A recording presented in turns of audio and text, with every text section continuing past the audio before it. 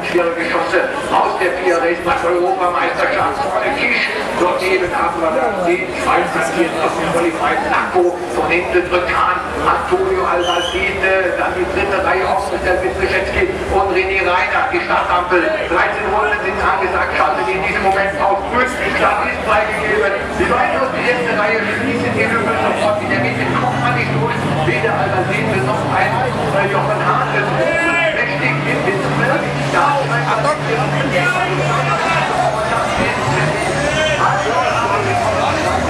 Da der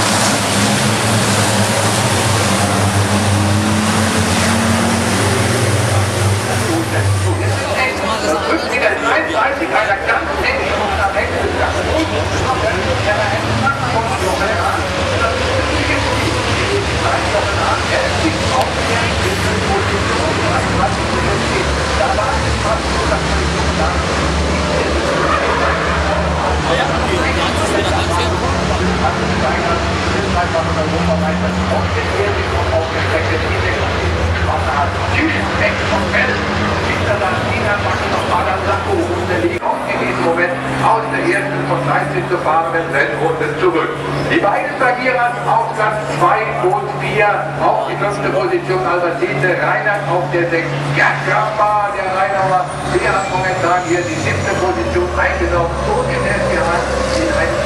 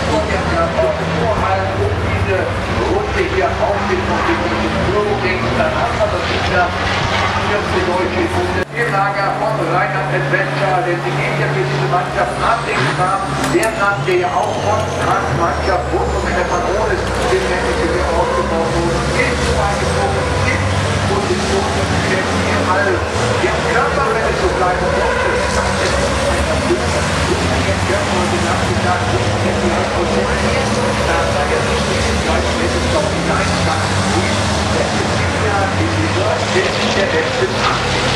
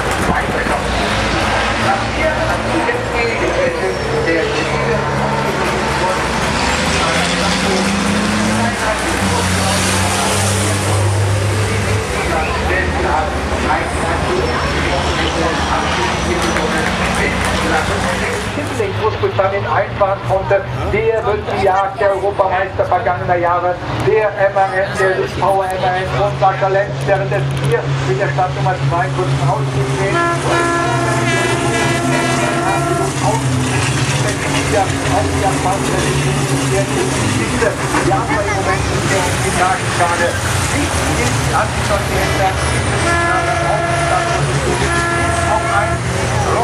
auf der in der zweiten Position. Wer kommt zum ersten Mal im Rentempo aufgehoben auf die Startgerade.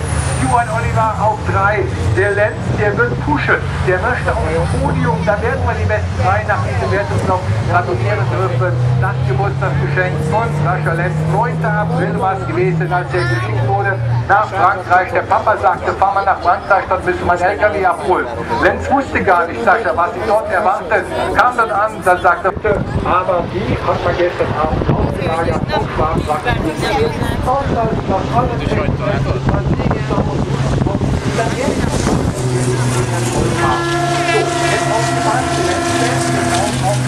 Werner Lenz auf den dreifachen Europameister der Jahre 20.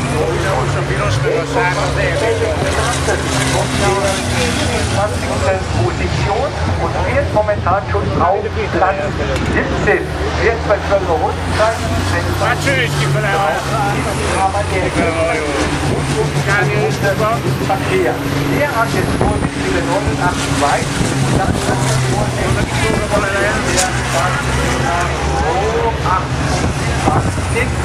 Schwabentrag, der die letzte Stoffmeister zurückgefallen ist. Und wir werden jetzt die große Attacke 1 seiner letzten Schüsse erleben kam er gestern auf keine vernünftige Trainingsrunde. Was waren die Probleme? Ja, er wollte keine Oberlinie fahren. Er wollte aber auch in der Geschwindigkeit unterwegs sein. Es gab Probleme bei der Einstellung der Geschwindigkeitsbegrenzung von 160 km/h. Bei Lenz, ich sag's mal so ganz leise, quasi leider nicht mächtig aus dem Trab heraus, dass wir sich die Rennleitung anschauen. Aber der ist auf der letzten Rille unterwegs. Der Blick nach vorne, auch da wird das im Moment interessanter im Kampf um die sechste Position. Nach der haut man in den Schwabentrag von Ralf Arnold von Charlie hinein. Die beiden Deutschen waren sich da bei der Vorfahrtsregelung nicht so ganz einig. Drücke mich da mal ganz, ganz vorsichtig aus. Lassen wir das auch mal hier so. Ja, es attackiert Heinz-Werner Lenz und der hat attackiert die 54, ist also jetzt vorbeigezogen an die 16. Position. Der sagt sich auch, fantastisch, was siehst du? Wir probieren alles, nach vorne zu kommen. Chris Sandbergen, der hat im Moment zu tun gehabt mit Thomas.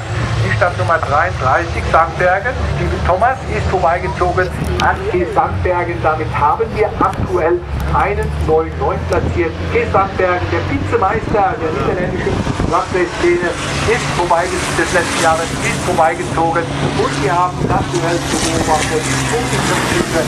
und 15. Gesamtposition eben mit Coleman und mit Smith. Ja, Sandbergen verliert den Anschluss an Thomas an den 9 platziert. Das wird auf den zweiten Monitor dann aufgespielt werden. Wir haben noch ein interessantes Duell, das läuft im Moment zwischen Jenkins und zwischen der Startnummer 95 Richard Coulet. Die beiden Engländer kennen sich ganz genau, der Flugingenieur aus Halifax, der schon seit Urzeiten dabei ist, der Pilot, der Rad der Startnummer 95. 1992 beim Utrecht haben wir zum ersten Mal dort äh, gesehen. Richard Collet, der seit dem Jahr 2002 hier in der Eifel bei jedem Kampf auf dem Status ist und der Partiefahrer auch ein Teil seiner Frontpartie wird ihn gar nicht groß interessieren. Riese trifft der MAN-Pilot, der die nächsten MAN-Jagd mit der Startnummer 69 Getränk ist. Der bekommt die Küsse, den heißen Atem des noch achtplatzierten Richard Collet zu spüren. Das Ding ist auch für die beiden noch lange, lange nicht gelaufen. Der Blick einmal zur Spitze und ich habe es ja schon einmal gesagt, es könnte enger werden für den führenden Ryan Smith, denn der Rückstand, den Stuart Oliver eben noch über zwei Sekunden vorzuweisen hatte, ist geschrumpft im letzten Umlauf auf 1,4 1,4 Sekunden. Und ein Lenz, der Sascha Lenz auch nur 1,9 Sekunden zurück hinter einem Robino, den drittplatzierten. Es wird also ein Tanz auf Messer Schneide werden. Und Wir haben ja auf der Uhr hier oben noch 5 unten stehen. Also das Bild ist noch nicht gelutscht. Wir haben im Moment zu beobachten beim Auflegen auf der Stadt und Zielgerade die Stadtnummer 88, den 33-jährigen Briten Ryan Smith, der im vergangenen Jahr Vizemeister in Großbritannien in der Gruppe B wurde. Wir sehen auch weiter von heftigen Einschlag Ralf Gianni Arnold im Iveco, im Schwaben Power Truck unterwegs runter zur Kurzanbindung auch er macht wieder gut gut. Hat 47 vorgenommen, rein in die Kurzanbindung. Luke Garrett, der den ERF pilotiert, den weiß lackierten Rechtslenker, konnte nicht gegenhalten. Ralf Arnold vorbeigezogen, der den Iveco Schwaben Truck hier pilotiert. Der Renningenieur, der all seine Zeit, seine Freizeit investiert, um hier mit der Mannschaft von Josh Löckner auch im Tragzeitsport bei 5 von 10 Wertungsläufen ja, Sein. Jenkins, Colette. Runter geht es zur Mercedes Arena. Jenkins hat die Nase vorn. Colette versucht auf der Außenspur sich zunächst einmal zu zeigen. Jetzt heißt es wieder ganz eng reinziehen. Macht er nebeneinander rein in die Mercedes Arena. Er hat sich durchgesetzt. Colette ist an Jenkins vorbei. Und ich glaube, der wird jetzt auch die Nase weiter vorne im tragen im Kampf um die siebte Position. Hier unten Anzeigen seitens der Rennleitung und die betrifft die Startnummer 36, Überfahren der Corner Markers. Und ich glaube gelesen zu haben, es gibt eine Drive-Through-Penalty für Heinz Werner Lenz. Das lassen wir aber mal so erstmal im Raume stehen. Es wurde angezeigt die 36, es wurde angezeigt eine Drive-Through-Penalty. Ich denke, das ist auch dann für Heinz Werner Lenz gemeint war, der gerade an der Startnummer 4 vorbei sich damit auf die 15. Position verbessert hat. Nun, der wird natürlich ganz, ganz dicken Hals haben, wenn Heinz Werner Lenz, der dreifache Europameister, dann hier oben an Start und Ziel durchkommen wird.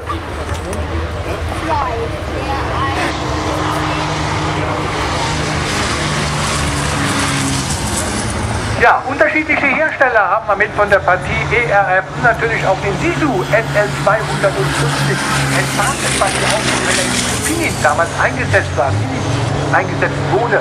In der Popular war auch war einige Jahre mit von der Partie, der Sisu, den wir gerade gesehen haben, mit dem Fahrzeug von der Popular. Viele sind immer schnell gewesen, auch die Damen aus Finnland oder die Damen aus Finnland in der Europameisterschaft, wo wir ja auch äh, der Französin haben, die Gange war dabei, wo wir Ellen Moore, wo wir einige Deutsche mit in der Szene hatten. Eine Reinhilde Braun war früheren Jahres auch mit am Start gewesen in der Tragwelt Europameisterschaft. Heute des ersten Durchganges Steffi Hall, die sympathische 31-jährige Amateurin, die seit Lugaro am letzten Wochenende hineingekommen ist, Gott sei Dank wieder in die Gemeinde. Summerfield auf 5. Liegt der Rückstand Summerfield auf dem vorhin platzierten Lenz. Er steht momentan bei 2,9 Sekunden. Also da müsste für Sascha Lenz alles hier weiterhin sauber über die Bühne gehen. Und ich habe es angedeutet, spreche jetzt ganz deutlich aus, um Rückfahrtsstrafe Randy für Heinz Werner Lenz. Lässt die Hände ganz ruhig am Lenkrad, als er hier umgesperrt. Und also einmal mit Maximalgeschwindigkeit 60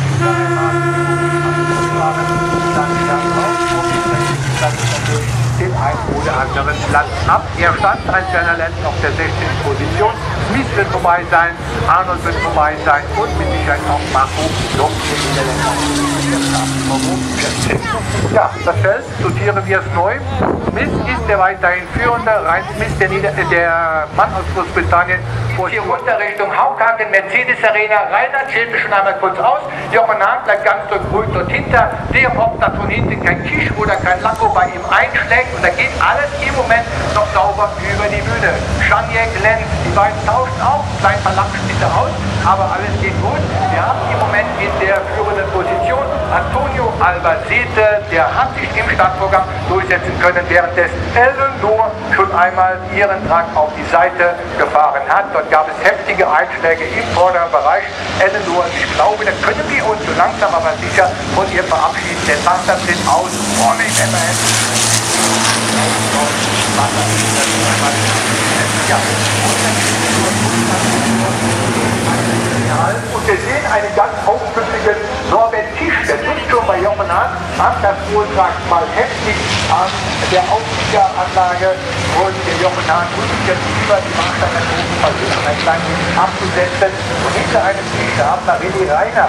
René Reiner, der ging ja aus der zweiten Startreihe an den Start, so bisschen der Verlierer des Startvorganges. Vorne Albacete, dann Körper, dann Brzezinski. Der Freizeiterpilot mit der Startnummer 33, die kann durch. Albacetes Vorsprung 1,3 Sekunden auf Gerd Körper. Der hält sich noch schadlos.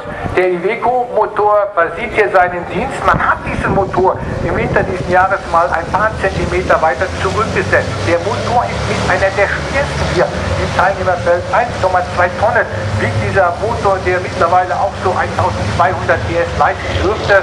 Und man hat ja die Möglichkeit gehabt, den Motor nach hinten zu versetzen, weil es die Regulierung gegeben hat, statt 5,5 nur 5,4 Tonnen Mindestgewicht. Man konnte Bleiplatten aus dem Heckbereich der Fahrzeuge rausnehmen, dadurch den Motor ein paar Zentimeter nach hinten versetzen, hat. Der Körper, alte Position, souveräne Leistung. Das ist noch 27 ja, der Italien.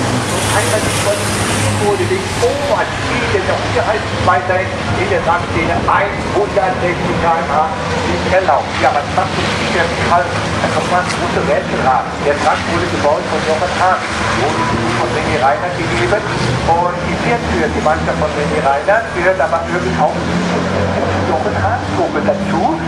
Vielleicht wird sie hier in Kürze mal die Spur freigeben für Jochen Hahn, dass er die Flucht nach vorne ergreifen kann. Und jetzt kommt die Attacke Jochen Hahn auf Steffi Hall. Ende statt Ziel. Da dürfen wir uns freuen. Steffi Hall, auch eine ganz, ganz faire Fahrerin, die wird keine unnütz harte Aktion hier fahren, so wie auch Jochen Hahn. Aber der muss wegkommen, Jochen, von Novi Kisch. Der übt weiterhin Druck auf ihn aus. Und René Reiner, der sitzt im Schlepptau von ihm, währenddessen wir jetzt beobachten, MAN gegen MAN, gegen MAN, so heißt es hier, mit Frankie Wojcicek, mit Sascha Lenz und mit Anthony Janjek. Die Startnummer 8 ist der lachende Dritte im Bunde. Großes Fragezeichen, noch nicht. Ist er vorbei? An den beiden doch. Er hat sich passiert, denn auf die Kamerabilder sieht er aktuell. Nein, konnte nicht vorbeifahren. Aktuell immer noch der Wojcicek. Druck, macht auch seinen Landsmann auf. Anthony Janjek, der seit diesem Jahr für das Kleintrag Team unterwegs ist. Und diese Gegend den Moment, wenn ich das lese, dass der jetzt über einen Meisterschaftspunkt, also letzte hat ja zwei Meisterschaftspunkte mit dem Nordland die erste Stadt in Italien auf seinem Konto, sprang damit auf die Etappe 19. Position in der laufenden Europameisterschaftssaison. Sascha Lenz, Renki Wojcicek, der Tscheche, und Peter Sanjek, der Franzose, und Robino, der lässt ja auch nicht locker. Der Mann, der im ersten Durchgang disqualifiziert wurde, ist der Frank an diesem Wochenende Großeinsatzpferd insgesamt sieben Wertungsläufe. Denn er fährt ja nicht nur die vier Läufe zur Tag-Europameisterschaft, sondern sein Bruder Antonio Albacete, die passieren in diesem Moment hier oben die Start- und Ziellinie. Attacke auf der Seite der Tribüne. Das wird nie und nimmer funktionieren für Frankie Wojticek. Vielleicht steckt er gleich zurück, zieht dann auf die, Aus, ja, auf die Innenseite, aber noch probiert es außen herum. Aber der hat ja die Rechnung ohne den lieben Gerd Körper gemacht. Was heißt den lieben? Wenn der Gerd Körper sich entscheidet, in die Bremse zu steigen, dann ist aber auch schon mehr als nur 5 vor 12. Dann ist Obacht angesagt, der Spätbremser schlechthin ist hier weiterhin auf der zweiten Position unterwegs. Wird zwar hier oben an Start und Ziel auf 3 geführt, aber der hat ja diesen zweiten Platz dann wieder zurückerobern können. Brzezinski, der dritte Körper auf 2. Steffi Hals ist hier weiterhin auf Platz 4 unterwegs. Die Startnummer 4. ganz rechts aufblenden. Wir sehen Steffi Hall und hinter Jochen Hahn. Der ist ganz, ganz dicht dran an Hall. Und das Schöne an Jochen Hahn ist, der kennt es nicht, das Anklopfen. Wenn der sagt, was ich versuche, bei der Vorfahrt, der über die Bühne geht, jetzt Jochen Hahn, eine Kurve vor Warsteiner, da ist der vorbeigezogen. Die kam ins Gute, Steffi Hall. Jetzt versucht noch der Norbert Kies vorbeizuziehen. Die wird sich nie und immer freiwillig Platz machen. Die wird jetzt ganz überziehen auf die Außenspur im Abwandbogen. So, der konnte ja schon die Nase vorne in den Wind hineinstecken.